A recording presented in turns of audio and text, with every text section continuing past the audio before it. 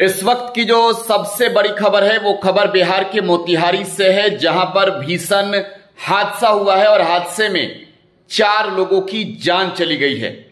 दरअसल ये पूरा मामला मोतिहारी के ढाका थाना क्षेत्र इलाके का है, जहाँ एक निर्माणाधीन टंकी के सेंटरिंग खोलने के वक्त चार लोगों की जान चली गई है और परिजनों ने जमकर बवाल काटा है, अस्पताल में तोड़फोड़ भी की है। इस वक्त जो जानकारियाँ निकलकर सामने आ रही है, मिली जानकारी के अनुसार निर्माणाधीन टंकी का जो है वो सेंटरिंग खोला जा रहा था और अचानक उसके अंदर जो गैस था, उस गैस की वजह से चार लोगों की मौत हो गई है। घायल स्थिति में, नाजुक स्थिति में, हालाँकि चारों लोगों को लेकर जो स्थानीय लोग हैं, जो उनके परिजन हैं, वो अस्पताल पहुँचे थे। लेकिन इलाज में देरी हुई और वहाँ पर मौत हो गई, ये आरोप है परिजनों का। लेकिन मौके पर मौजूद जो चिकित्सक है, उनका साफ़ तौर पर कहना है कि जैसे ही पेशेंट लेकर आए गए सभी की स्थिति जो है वो खत्म के बराबर थी, यानी डेड हो चुके थे और यहाँ पर जो है परिजन तोड़फोड़ करने लगे। तस्वीरें देखिए, हम आपको दिखा भी रहे हैं, ये मोतिहारी की तस्वीर है, ढाका अनुमंडलीय अस्पताल की तस्वीर है, जहाँ पर किस तरीके से चार लोगों की मौत के बाद जो है वो हंगामा हो रहा है, वहाँ की ये तस्वीर एक्सक्लूसिव आप देख रहे हैं टुडे बिहार न्यूज़ पर। देखिए सबसे बड़ी बात यह है कि सेंटरिंग खोलने के दौरान ये हादसा हुआ है।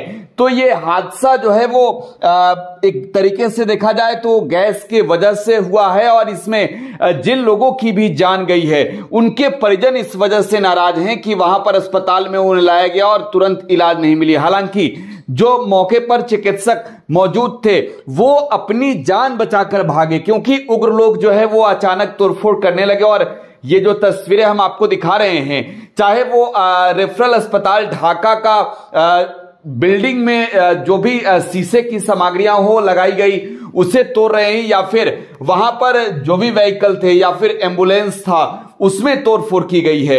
ये जो तस्वीर आप इस वक्त देख रहे हैं, ये तस्वीर मोतिहारी के है, और एक हादसे के बाद की तस्वीर है। हालाँकि इस हादसे में जिन लोगों ने भी जान गंवाई है, चार लोगों की मौत हुई है, उनके परिजन जो हैं उन पर दुख का बड़ा पहाड़ टूट पड़ा है और जो जानकारियाँ मिली है महावीर ठाकुर ढाका के ही लहन मोहल्ले के निवासी हैं। उनके घर का निर्माणाधीन कार्य चल रहा था और उसमें ही टंकी का का जो है वो सेंटरिंग खोला जा रहा था। जिस दौरान ये हादसा हुई है। हालाँकि मौके पर जो लोगों, लोग हैं, उन लोगों ने पत्थरबाजी भी की है। पुलिस के जो अधिकारी हैं, वो मौके पर पहुँचे और पुलिस ने लाठी चार्ज की है। ढाका में चार लोगों की जान चली गई है। गैस की वजह से, देखिए, सेंटरिंग जब खोला गया तो अंदर गैस बन चुका था और उसी गैस की वजह से चार लोगों की जान गई है।